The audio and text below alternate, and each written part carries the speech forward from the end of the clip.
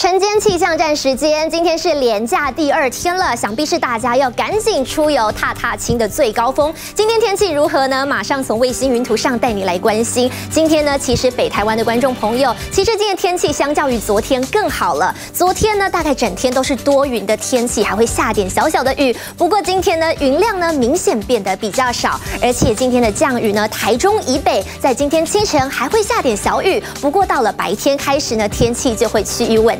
另外来看到呢，今天要比较注意的依旧是东半部。今天东半部呢，因为在迎风面的关系，包括宜兰、花莲、台东，今天呢一整天都还是会有局部的短暂阵雨。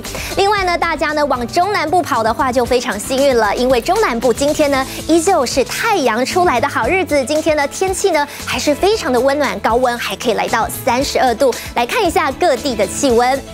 来看一下呢，今天北部地区呢，低温呢是二十度，高温二十五度，降雨几率百分之十。但是到了白天呢，就不会下雨了。带来呢是中部，中部今天呢是二十到三十度，这个呢日夜温差比较大，出门还是要带个薄外套。而在南部呢，今天要注意了，高温来到了三十二度，三十二度呢其实比较炎热，所以呢要多补充水分。再来看到呢是今天相对比较不稳定的，就是东半部跟东北部。今天呢低温呢是十九到二十六度，降雨几率百。分之三十，部呢今天也是二十一到二十六度，降雨率百分之三十。再来看到呢是离岛的地区，首先来看到是马祖，马祖今天十三到二十度，金门十七到二十四度，澎湖二十一到二十七度。刚好提到今天中南部天气真的很好，太阳都出来了，但是空气品质可就没有那么好了。来带你看一下呢，今天呢主要呢是受到这个背风侧的关系，所以呢在台中以南这个台中以南这个部分呢，今天呢。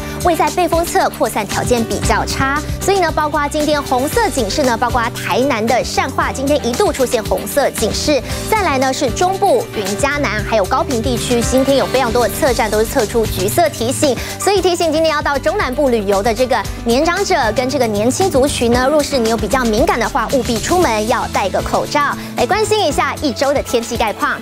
再提醒您呢，今天天气非常好，不过到了明天后天，就连今天会下雨的东半部天气也会变得更好喽。到了明天呢，全台都是出太阳的好天气，高温二十八到三十二度，所以呢，出门呢要记得要多补充水分，防晒工作也一定要做好。再来呢，到了开工日呢，原本呢在昨天的预报呢，到了开工日是会变天，不过最新一次一个预报呢，这个水汽减少了，所以到了开工日呢，只有东半部会出现短暂的阵雨，包括北部、中部、南部，天气都是相当稳定的。以上是今天的气象资讯，提供给您。